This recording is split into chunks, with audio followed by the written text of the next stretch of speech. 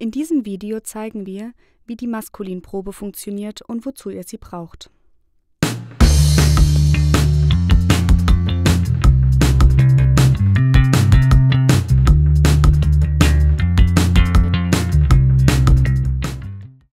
Wenn wir den Kasus eines Nomens oder einer Wortgruppe bestimmen wollen, hilft uns die Frageprobe nicht immer weiter. In solchen Fällen nutzen wir die Maskulinprobe.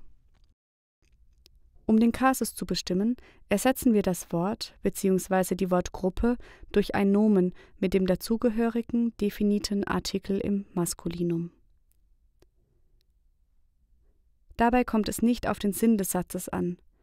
Anhand des Artikels können wir nun den gesuchten Kasus ablesen. Anna liest gern versus Anna wird geholfen. Wir ersetzen Anna jeweils durch der Vogel. Der Vogel liest gern versus dem Vogel wird geholfen.